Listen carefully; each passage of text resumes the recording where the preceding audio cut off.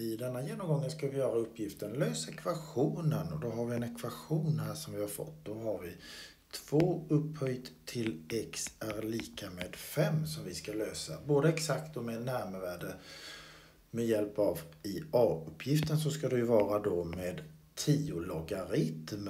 Och nu har vi x här uppe och då så tar vi logaritmerar vi, säger vi. Och då finns det logaritmlagar som jag tänkte visa. Den finns i formelbladet så det är inget vi behöver kunna utan till.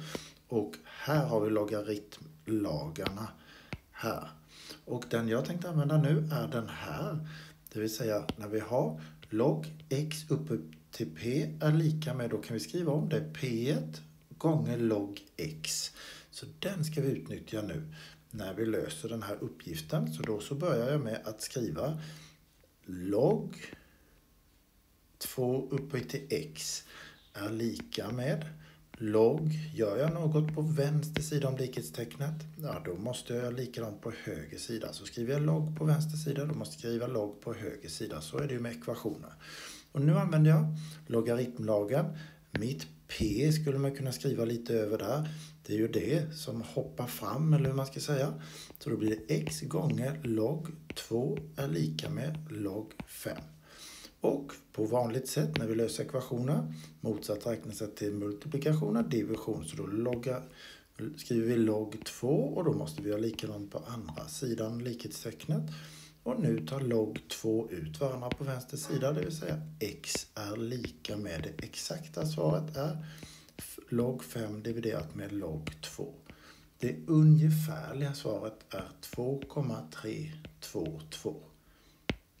I B-uppgiften så använder vi egentligen samma, samma lag, logaritmlag, men nu ska vi använda naturliga logaritmerna då. Och då har vi ju 2 upphöjt till x är lika med 5 och då så ska vi ju skriva ln framför. ln 2 upphöjt till x är lika med ln 5. Vi gör precis på samma sätt med ekvationer. Gör vi något på vänster sida så måste vi göra det på höger sida med. Och nu är mitt p här uppe, det är ju xet skriver jag till lite bara för att förtydliga hur jag använder den där regeln. Och då kunde man ju skriva x gånger ln 2 är lika med ln 5. Så jag skriver om. Det här skriver jag om. x hoppar ner kan man säga. Och slutligen för att få x-fritt dividera med ln2 på båda sidorna. För då förkortar jag bort detta. Och det exakta svaret är det, ln5 dividerat med ln2.